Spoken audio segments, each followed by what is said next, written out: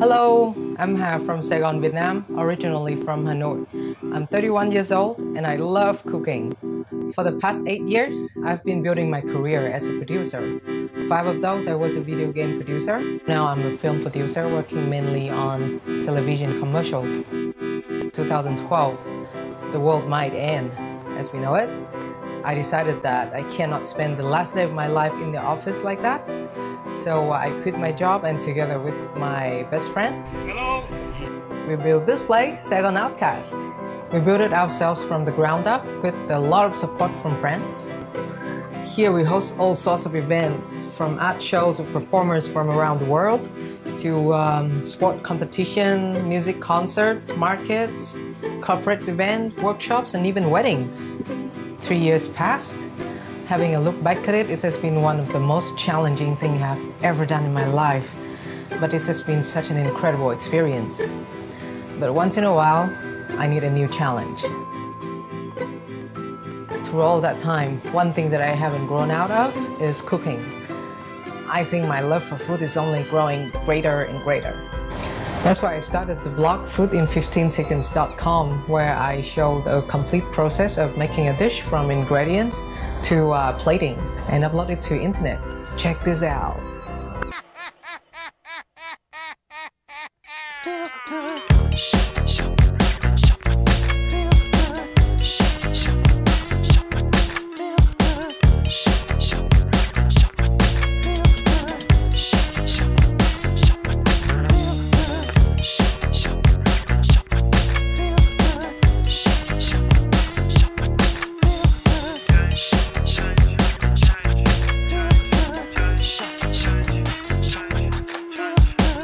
For food and cooking absolutely came from my mom.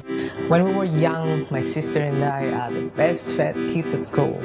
It's often that I come home to my mom preparing so much food, enough to feed the whole neighborhood, since they keep ordering food from my mom to share with their family.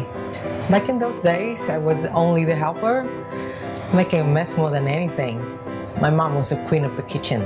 Moving out of home, coming to Saigon, finally, I'm the queen of my own kitchen. My fiance and I are already planning for an adventure. We will move back to New Zealand where he came from and build our own food truck. We will travel the country and sell Vietnamese food at the same time. We have visited twice in the last two years. We have been experimenting cooking Vietnamese food using New Zealand local ingredients. Some bought, some fished, some foraged.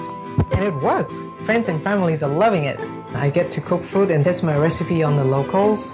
My fiance gets to make art and do freelance work. We get a fluffy, awesome dog and a lazy fat cat and ready to roll. Happily ever after.